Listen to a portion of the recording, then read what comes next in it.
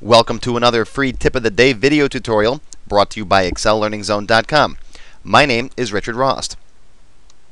Today, I'll be showing you how to create a matrix lookup in Microsoft Excel.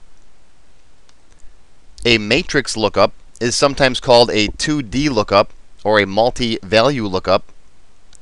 It's a special type of lookup using multiple values. It can't be done with VLOOKUP. Instead, we'll be using the match and index functions. A matrix lookup is good if you want to look up a value from a table or matrix based on two values, such as a row and column. It's great for conversion tables. The example that I'm going to use in class today is converting from one type of measurement to another one. Here I've got grams, kilograms, pounds, and ounces, and the related conversion values.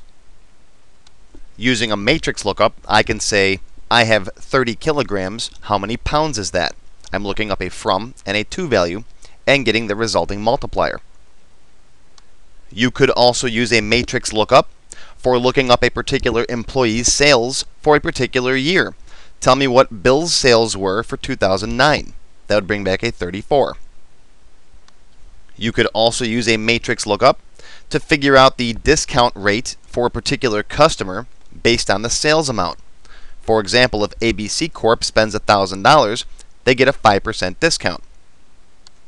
The list goes on. There's all kinds of reasons why you'd want to learn how to use a matrix lookup.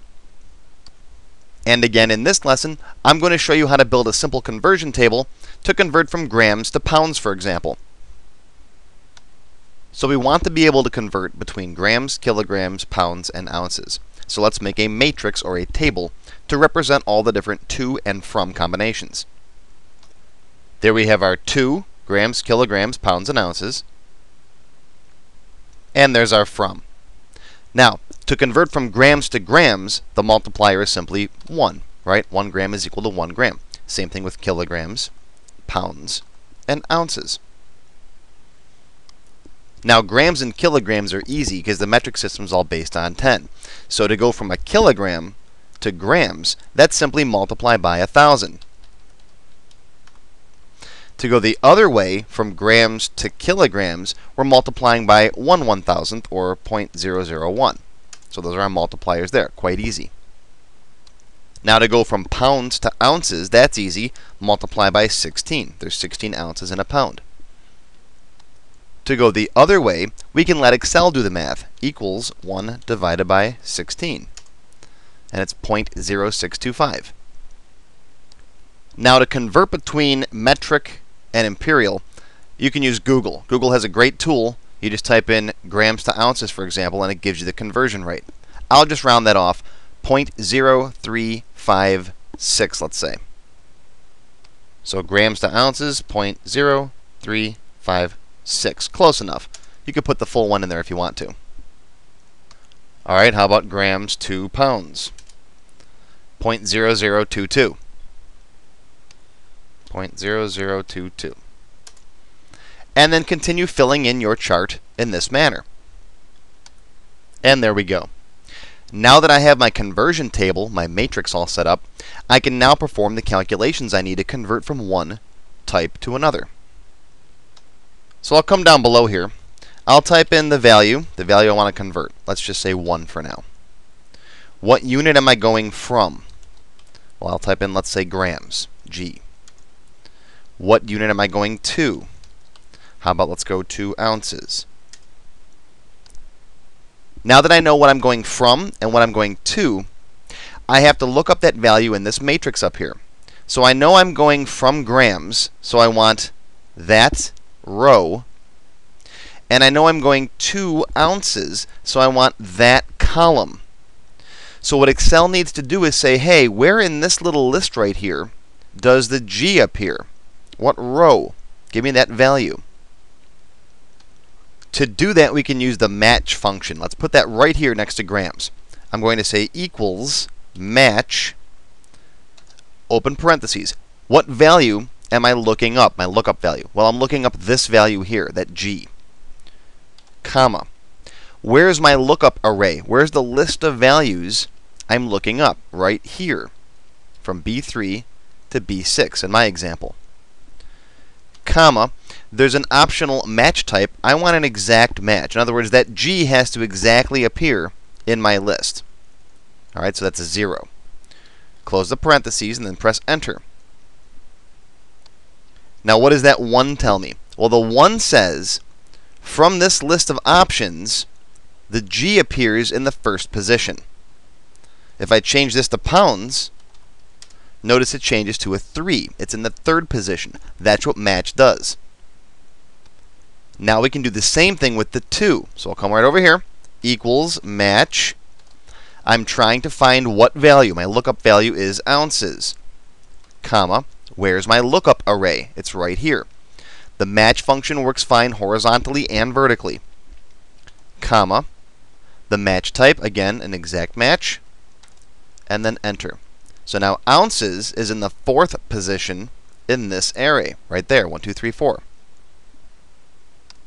Now that I know which row and which column I need, I can use another function called index to go to that position and grab the value. So my multiplier, multiplier, is going to be a combination of this row and this column. So that's going to look like this, equals index, the index function, the first bit of information that it wants is the array. Where is your lookup array? This guy right here. That's where we're looking up our values. Comma. Which row inside that array do I want to look back? Well, the row is the from value. All right, pounds is the third row. Comma. The column is right here.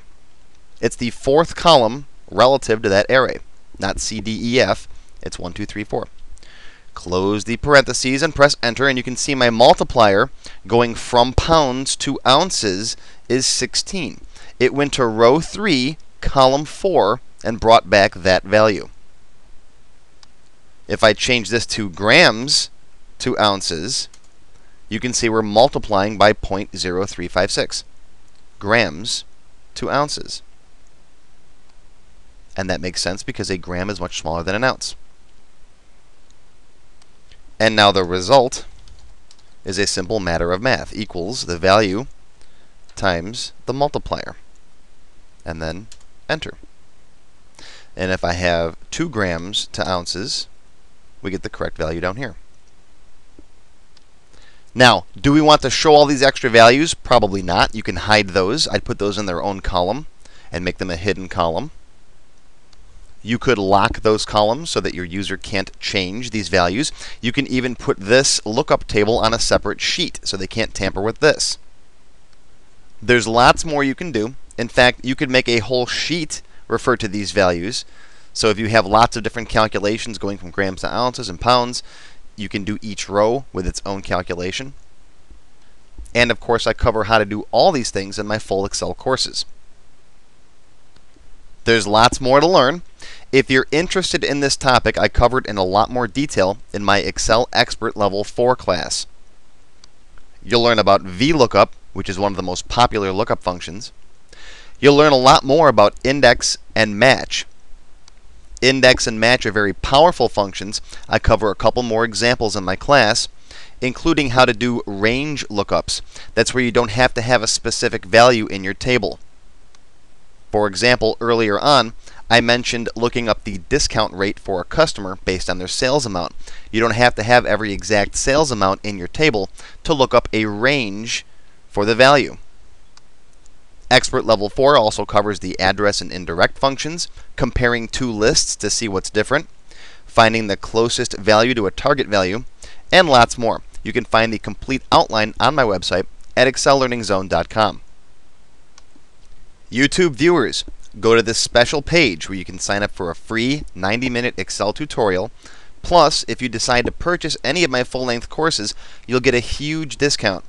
The webpage, 599cd.com slash XLMX.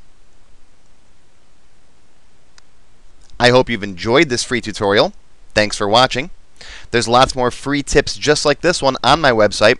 Go to excellearningzone.com and look for the tips section. Also, make sure to follow me. I'm on YouTube, Facebook, and Twitter. My username on each is 599CD.